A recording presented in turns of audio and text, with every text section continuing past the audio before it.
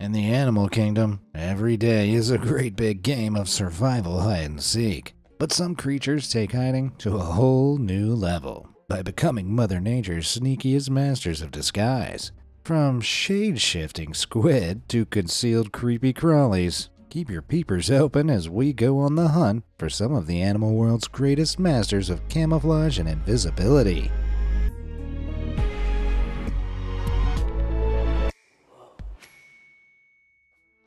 Sepioteuthis squid. While it might seem unbelievable, it's estimated that over 80% of the world's oceans remain unexplored and unseen. But even in the parts we do know about, there are plenty of crazy creatures that still evade the eyes of scientists, even up close. Check it out.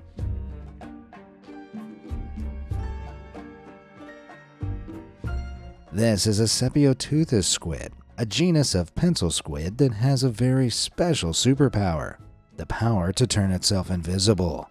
Squid are part of a group of mollusks called cephalopods, and like many cephalopods, they get their camouflaging abilities from special cells hidden within their skin called chromatophores.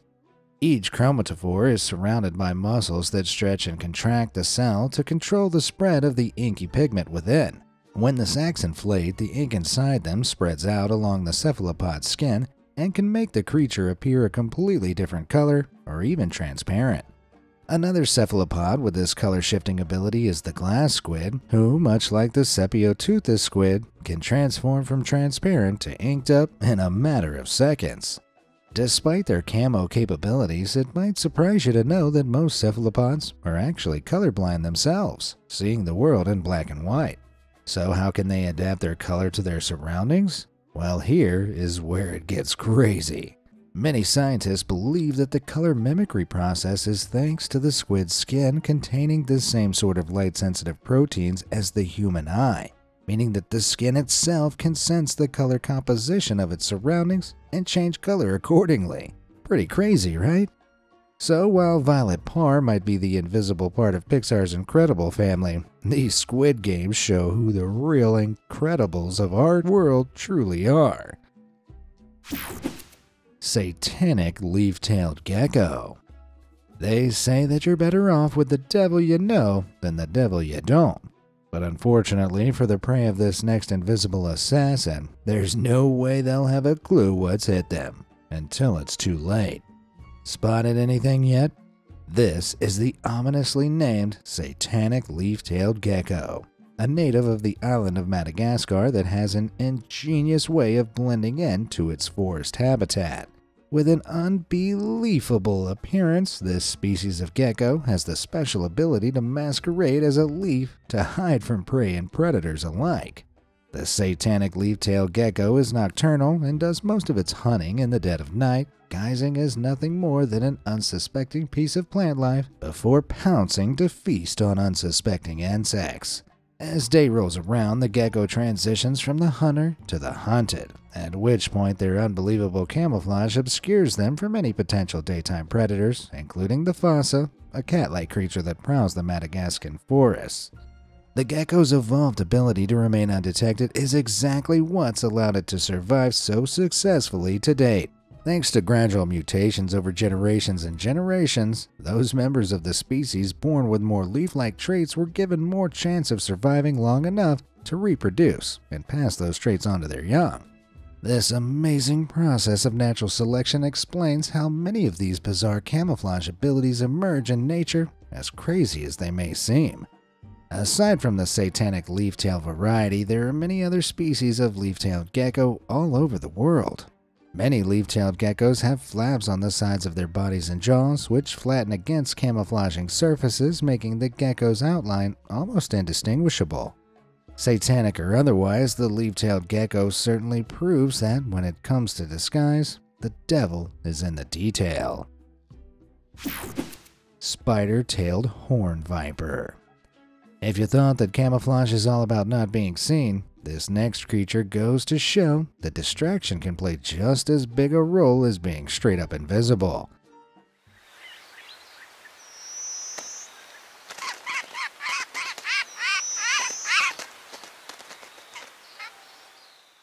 If you're still not sure what you saw there, Let's go again.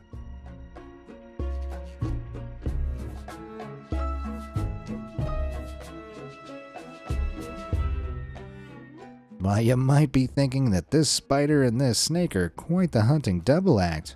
Think again, because this dynamic duo are one and the same. Yeah, I don't know about you, but this one kinda blew my mind and made my skin crawl. This is the spider tailed horned viper, a venomous snake endemic to western Iran. Not only has this creature physically evolved towards deception, it's also adapted its instinctual behavior for the purpose. At the end of the spider tailed horned viper's tail, there's a spiny little appendage that closely resembles one of the animal kingdom's eight legged crawlers. While the snake's mottled coloring helps it blend in with rocks and sand, it dangles and wiggles its tail with the intent of luring in birds that prey on spiders. When the victim takes the bait, the snake launches a counterattack, rapidly striking, clamping down, injecting venom, and gobbling up the aftermath. Nicknamed the spider snake, this slippery fellow is two of the world's biggest fears brought together. But which is worse, spiders, snakes, or this nightmare fueling hybrid of the two? Let me know what you think in the comments below. Pygmy Seahorse. They say that good things come in small packages, and for our next camo creature, that package contains a whole lot of adaptable power. About the size of a paperclip, the average pygmy seahorse measures from an inch to as small as just half an inch from snout to tail. But despite its paperclip presence, size is not this peculiar creature's defining trait. These diminutive drifters spend their entire lives blending in around coral that looks exactly like them. But the question is, what came first, the pygmy or the coral? Well, as far as overall shape and texture is concerned, it's likely the coral came first, but coloration is a much more intriguing story. At birth, pygmy seahorses are similar in color to algae, but once they reach adulthood, they slowly transition to match their surroundings, specifically the coral they call home. At first, scientists weren't sure if the seahorses sought out coral that matched their body color, or if the pygmy's color changed depending on what color coral they were living amongst. In 2014, a group of marine biologists from the California Academy of Science collected a mating pair of orange pygmies from the Philippines with a very specific experiment in mind. Back at the lab, the scientists waited for the seahorse couple to get busy, and once the babies were born, the scientists took them away from the orange embrace of their parents' habitat to see what would happen. The pygmy babies were placed in a separate tank containing only purple coral instead of the orange where they were born. To the scientists' wonder, the offspring of the orange seahorses slowly turned purple to match their new purple coral home, adapting their invisible horsepower to their new surroundings. It's thought that the pygmy's color changing process happens in a similar way as it does for cephalopods with the help of chromatophores, albeit at a more gradual pace. Small but mighty hidden, these teeny pygmies are certainly impressive. But does anyone else think they kinda look like candy? Must resist urge to nibble. Buff tip moth. Riddle me this. If a tree falls in a forest and no one is around to hear it, does it make a sound? An age old question I won't answer today. But how about this? If a buff tip moth is chilling on a tree and everyone in the world is around to see it, would it be seen? The answer is almost certainly no. While a lot of camouflage creatures rely on color and patterns as means to conceal themselves, few can match the accuracy with which the buff tip mimics its woodland habitat. Found in the woodlands of the UK, Europe, and Asia, the buff tip moth is not only the color of a loose twig, but it's shaped like one too. Like many moth species, the buff tip is a nocturnal flyer, a practice they've evolved to avoid their most threatening daytime predators birds. While birds like the owl and nighthawks are famed for coming out at night, the majority of wild birds are diurnal, meaning they are most active during the day and typically rest at night. So during those risky daylight hours, the buff tip will hold its textured wings against its body, giving it the conical and deceptive twig-like appearance that it's known for. And it gets super weird when a pair of them try to mate, as you can see here. Oh, wait, no. That's just an actual pair of twigs. Come on, can you blame me? Goldenrod Spider. When you think of camouflage, bright, eye catching colors aren't usually on the menu. But in the case of our next camo creepy crawly, the brighter, the better. This is the goldenrod spider, a spider that exclusively hunts on the most vibrant of hunting grounds, on flower heads.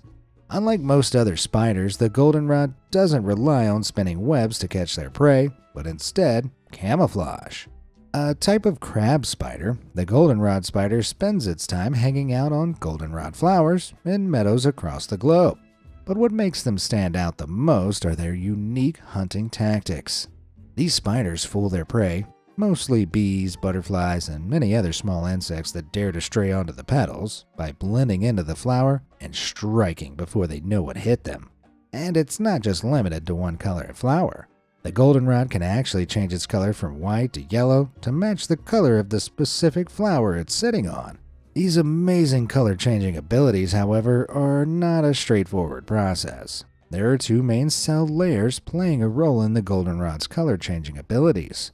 The upper layer is naturally clear, showing off the spider's naturally white colored insides. But when one chooses to nest on a yellow flower, the spider will begin secreting a yellow pigment into its outer layer. The process of the spider changing from yellow to white takes around a week, while the change from white to yellow can take up to 25 days, as it takes longer to produce the yellow pigment.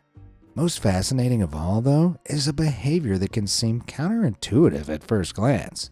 Sometimes the goldenrod spider can be seen hunting on the pink petals of the pasture rose, where it boldly stands out to human eyes. But to the eyes of certain insectoid prey and predators of the spider, they're invisible. This is because the eyes of their insect adversaries lack the receptors needed to see red, so the goldenrod appears the same color as the pink petals. So, in those cases, the goldenrod's biggest advantage is the shortcomings of its enemies. And while a win by default isn't the most honorable victory, I'd say being able to remain alive is probably satisfying enough for these little arachnids. Leave me alone. In the animal kingdom, being soft and squidgy makes you a very easy meal for predators. But thankfully for this next invisible insect, evolution has found a nifty way to keep it safe from the hungry beasts out there. On first glance, you might think this is just a regular leaf, but a closer look reveals this is the common baron caterpillar. But unlike its name, there's nothing so common about this little green guy's skills for slipping under the radar. In their quest to become butterflies, caterpillars have two main goals to eat and to avoid being eaten. For the baron caterpillar aiming to reach the sweet life of a butterfly, mango leaves are the highlight of the menu. And they spend all their time crawling on and crunching the leaves of mango plants native to Southeast Asia. To make sure they have enough nourishment for its transformative pupal stage, caterpillars can consume as much as 27,000 times their body weight in food in just a matter of weeks. To mask themselves from predators while they binge and sleep off the inevitable food comas, the baron caterpillar develops this lime colored line across its spine as it grows that perfectly matches the midrib of its mango leaf lounger. Not only that, but the baron also sprouts these pine needle like appendages that perfectly matches the flesh and veins of the leaf and allows it to bend any which way to match the curvature of the leaf bed. Even when not resting on its homey mango leaf, this very hungry caterpillar could easily be mistaken for plant matter, truly looking nothing like a regular meal for any potential predators nearby. But the baron caterpillar isn't the only leafy green in town. In the verdant forests of South Asia and Australia, there are leaves everywhere. But if you look closely, you'll realize that not everything is as it seems. Take a look.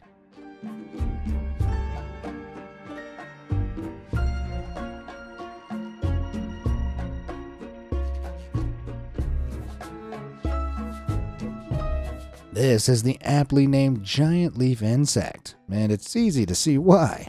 Its body and legs look exactly like real leaves, meaning it can seamlessly blend in with the foliage of the forest. Their coloring ranges from all shades of green to brown and orange, mimicking leaves at different stages of growth and decay. And it's not only surface appearances that are being deceptive here. These amazing mimics also sway side to side to mirror the movement of a leaf blowing in the wind.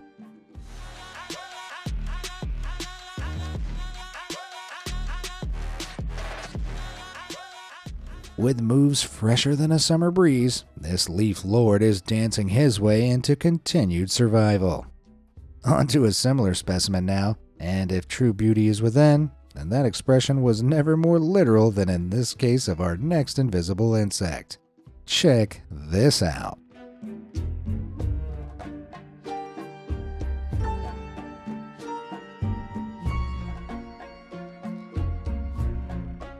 This is the dead leaf butterfly, aptly named for its ability to, well, masquerade as a dead leaf.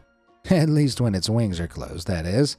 Also known as the orange oak leaf butterfly, this leaf in the wind certainly looks the part, mimicking a fallen leaf's color and texture with insane detail, from midrib to stem.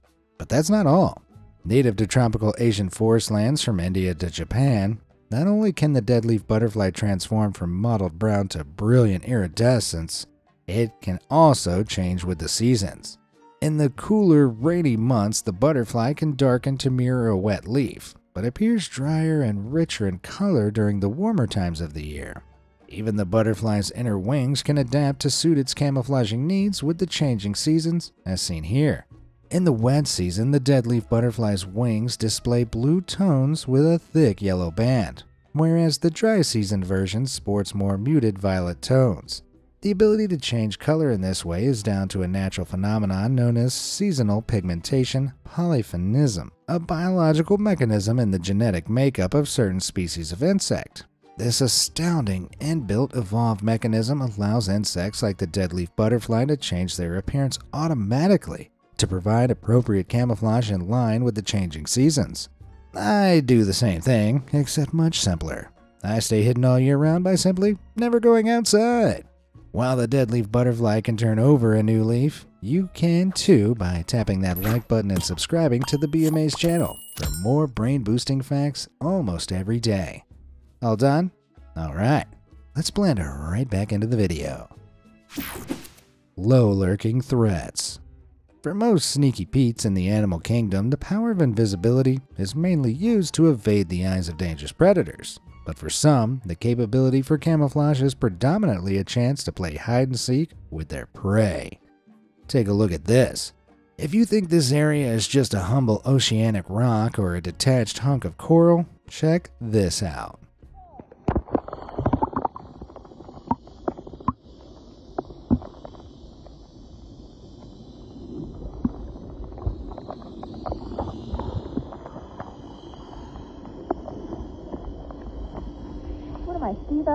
The strange thing in that video and camouflaged in the image you saw beforehand is the stonefish.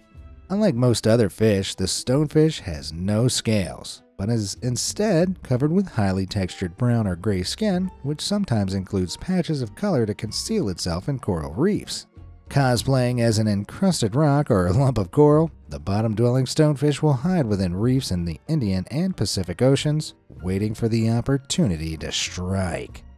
And the stonefish doesn't stop at camouflaging itself as a rock or a lump of coral. Oh no, it can also bury itself beneath the sand and pebbles to await any unsuspecting victim swimming overhead. But stonefish are not only masters in the art of disguise on the offense, but on the defense too. Officially dubbed the most venomous fish in the world, stonefish also pose a threat to paddling beachgoers who mistake them for a rock. Armed with 13 dorsal spines that raise up when old Stonyface feels threatened, the stonefish can inject a large amount of venom into anything unlucky enough to step on it. A sting from one of these guys' hypodermic needle like appendages can be astoundingly painful, and in some cases, even for fully grown humans, fatal. Another bottom dwelling disguiser is the nightmarish monkfish, who also lays in wait on the ocean floor for unsuspecting prey to get close enough. While these lurking monsters of disguise aren't venomous, their large jaws come with multiple rows of razor sharp teeth, making them another hideaway menace to keep your eyes extra peeled for next time you take a relaxing dip in the deep blue. Glass animals. If we've learned anything so far, it's that camouflage is all about blending into your surroundings. But what about if your surroundings happen to consist of, well, nothing at all? In the open ocean, you might think that there's no place to hide, but there are some aquatic creatures out there that have come up with a solution. This is the Cystosoma, an alien looking crustacean with some pretty special superpowers. This crafty crustacean is a part of a genetic group of hyperiid amphipods who can often be found in the mesopelagic zone of the ocean, also known as the Twilight Zone. Very little sunlight reaches these depths, and creatures like the Cystosoma have developed their transparent bodies to cast less visible silhouettes when spotted from below in the dim light.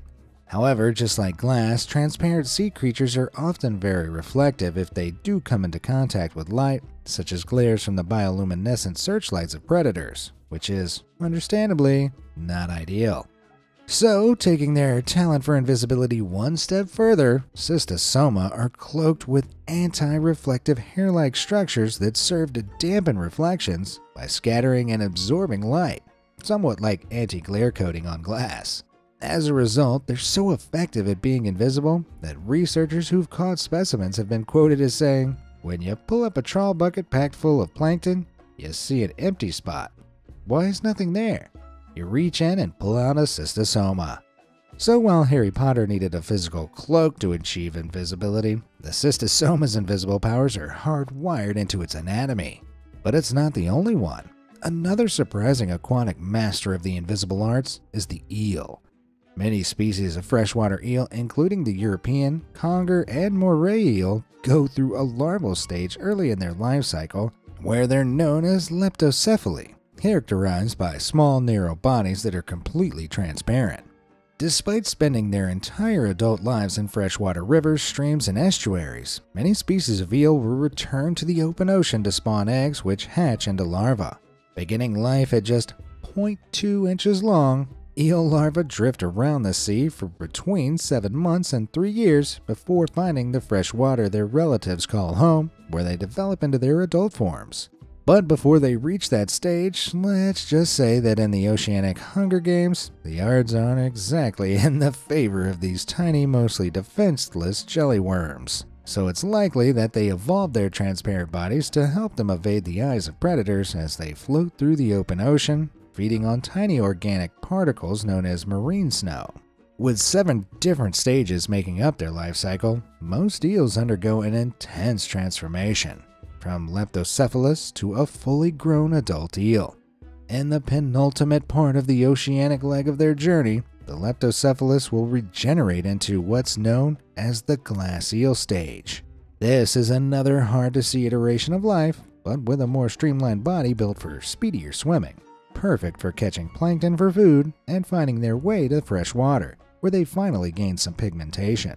At that point, it's goodbye to the glassiest camouflage I've ever seen, and hello to the gross, slimy brown and greenness, and later silvery blackness, of the adult eels we're all more familiar with. Then eventually, back to the sea to breed and die.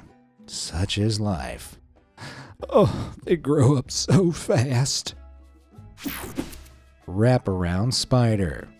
Picture this you're going on an adventure into the Australian bush. You pause for breath and lean against the nearest tree.